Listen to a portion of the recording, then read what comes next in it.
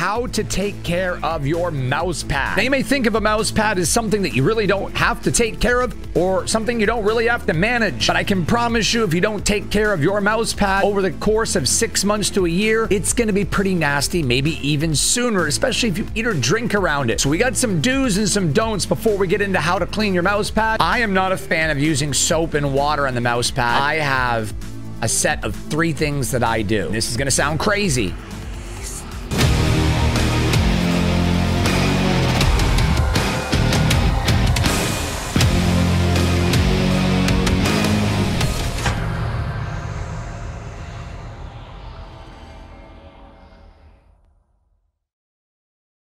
What's up today, YouTube? How you guys doing? Thanks so much for stopping in. Let's dive right into today's video. If you guys haven't already, be sure to check me out on all socials for the live streams, Twitch, TikTok, as well as Facebook and YouTube. All socials, Twitter, Instagram, Acrylics, the one and only.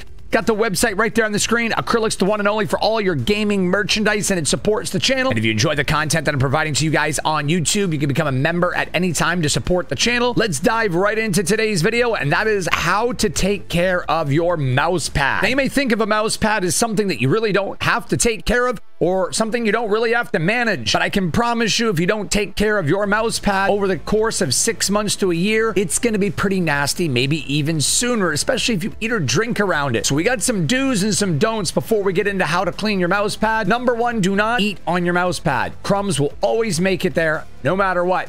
Number two, no drinks near the mouse pad. You need to have a drink while you're playing games. Try to do it away from the mouse pad. Every time you spill something on it, it's going to take 10 times longer to get it off, and then you have to dry it, and you can't use it while it's wet. That didn't sound right. But you can't use it while it's soaking wet after cleaning it. So it makes no sense to eat and drink around it. Those are some no-nos. Another thing is do not dust off equipment around the mouse pad without covering it up. Dust will get on the mouse pad. It'll be impossible to get it out. Microscopic dust particles and hair will end up getting in the weaves of the mouse pad, and then you'll feel it on your hand when you're sliding your mouse around. It gets very annoying, especially if you're using an ARM-based mouse pad like I am. My mouse pad is 50 by 30. I'm an ARM player. Pretty much almost my entire desk is a mouse pad. So if you're playing like that, which I highly recommend. Do not eat or drink near your mouse pad. Otherwise, you're just going to get stuff all over it and it's not going to be pretty. Now, I don't have any footage of my mouse pad dirty because I cleaned it the other day, not knowing I was actually going to do this video. If you start to notice that your mouse pad's looking chalky wherever your arms and hands have been and you try to wipe it off and it doesn't get clean,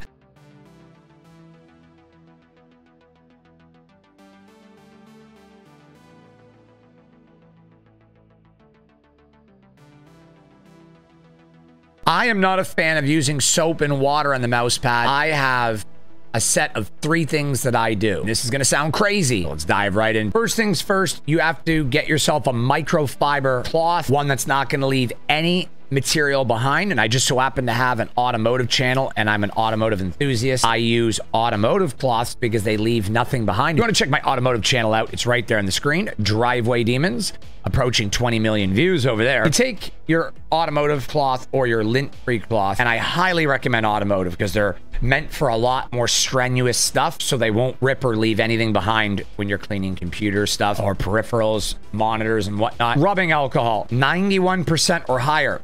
And what you're going to do is you're going to take a little bit of rubbing alcohol. And I don't know if you can see this. Right here, there's like a, a little bit of white chalkiness. You're just going to rub up and down with rubbing alcohol like this and use a toothbrush if need be to get everything off of the mouse pad. This right here will just suck the dirt right from the top of the mouse pad. We're to do this a little bit more. So I got the rubbing alcohol here. You can see right there, there's like a little bit of white. Not as dark as the rest of the pad, and you're just to rub over it.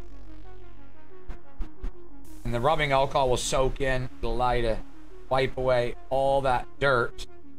And the good thing about rubbing alcohol is that 91% specifically is going to evaporate pretty quick. When I blow on it, you'll see it evaporate. See that? The camera?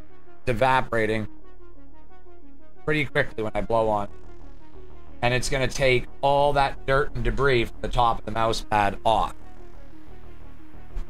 All right, guys. Do you see that? That's the dirt where I was pressing with my finger. That's crazy how much dirt came off that one little spot even two days after cleaning the mouse pad. You can imagine how much dirt is on your mouse pad if you haven't cleaned it in more than a month. What you're going to be left with now is a mouse pad that is still looking pretty chalky, but is clean. The reason, and no one really thinks about it because it's not really talked about, mouse pads are actually coated with a type of lubricant protectant, almost like an armor all for your car or an oil that helps keep them slick and smooth and moisturized, almost like you would suede or leather. I don't recommend using armor all per se because it'll get pretty greasy and that's just a little too much. So what I recommend is a leather cleaner like Meguiar's leather detailing. Now those sounds crazy, but this stuff is non-greasy and non-oily, keeps things moist and somewhat slick. This is as close as you're ever going to get to like a sofa or leather conditioner for interior upholstery. And I think it's better because it's meant for automotive. So because you use this on your car seats, it's probably not going to wear off your mouse anytime soon. I've been using this for three years and I noticed that when I was using other products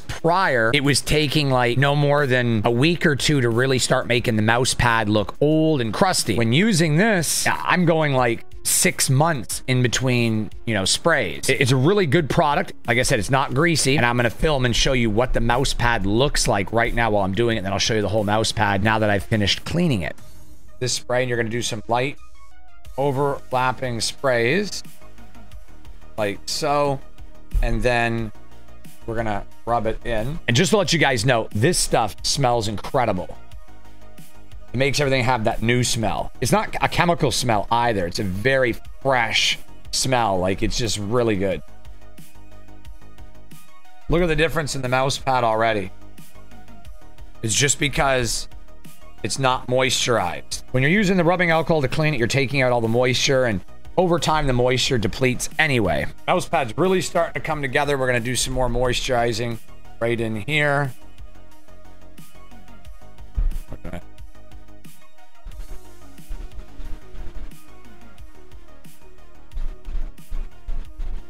Let this spread out. Key here is to spray while you're wiping or to put it on your cloth. This way you can make sure it's evenly spread on the mouse pad. This stuff also cleans too, believe it or not.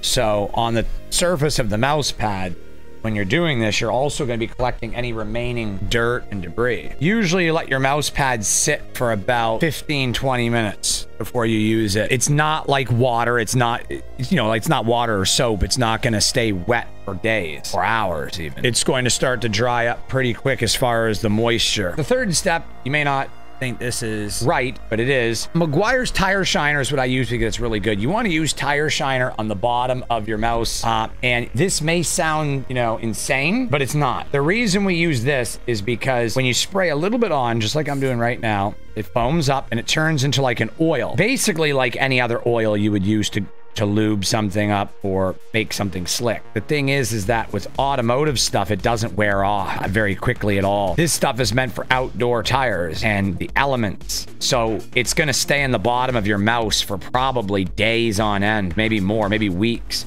I've noticed that my mouse stays pretty slick for a very long time. Like I haven't done this probably in, I don't know, four months. It just lasts a while. So you want to rub it on there, let it sit, buff it off, and you will notice when doing this. Like I said, this may seem like a joke, but it's not. Trust me. You're going to wipe it off. The feet are so slick right now. They're like literal ice. And it will stay like that for quite some time. As long as your mouse pad stays moisturized like I just showed you how to do, it's just going to glide over the mouse pad. Like, for example, like, like it just slides right across the mouse pad. Like, so easy. Like, I'm barely even touching. Look how slick that is. I'm going to blow Hey, come on now. That's how slick this is. Like, it's so easy to move the mouse when it's clean it's really the best way to take care of your mouse pad. Be sure to check out the store, Acrylics, the one and only, right there on the screen. And follow me on all socials for live game streams, specifically Twitch and TikTok. And you can become a member to support the channel right here on YouTube at any time. Thanks so much for being here, guys. Take care of yourselves and have a great day. Fun fact Australia is actually wider than the moon. The moon sits 3,400 kilometers wide or 2,113 miles in diameter, while Australia's diameter from east to west is almost 4,000 kilometers kilometers, 2,485 miles. Goodbye. You're still here. Well, thank you for sticking around for a while. The videos are great and you just want to see more content. Well, you know what? You're in luck because I curated some perfect content just for you. And it's right there. I think you're going to like this one just as much, maybe even more, because my videos are all good, right? Every last one of them are purely epic. So right there, click that video and we'll see you guys on the next one.